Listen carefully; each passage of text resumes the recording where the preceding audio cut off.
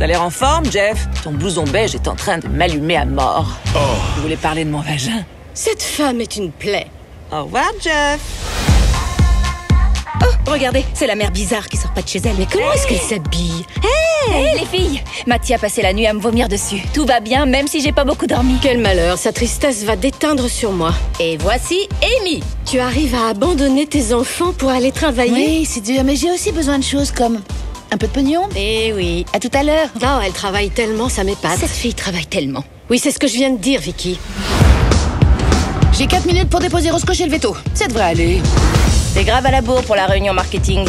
Je le crois pas, je vais être en retard à mon premier entraînement de foot de l'année. C'est une mauvaise journée. Il peut rien m'arriver de pire. Merde. Bon,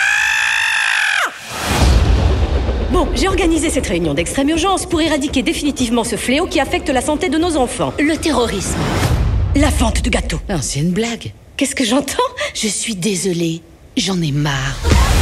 À notre époque, c'est impossible d'être une mère parfaite. Soyons des mères indignes. Ah, ça me branche. Aux mères indignes. Ça les cuisses, on voit tout. Salut J'appelais pour savoir si tu voulais te faire un ciné avec moi aujourd'hui. Pourquoi on a le droit de faire ça?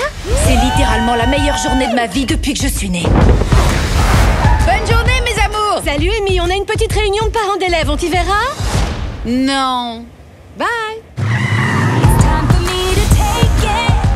Je dirige cette école, alors personne ne va en classe ou se met à jouer de la clarinette sans que je donne mon accord.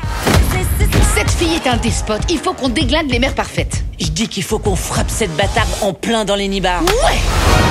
C'est la meilleure réunion de parents d'élèves.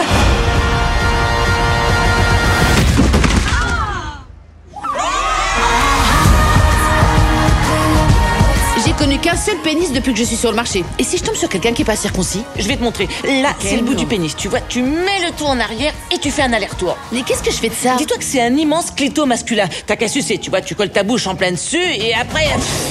Je vais plus jamais porter ce gilet, les filles. Oh putain Mais tu l'as piqué à ta mère Ça, c'est mon soutif hyper sexy. C'est un mononiche. Il est par balle C'est carrément par bite. C'est si moche. Ah, ça bouge Arrêtez. Mais c'est très confortable.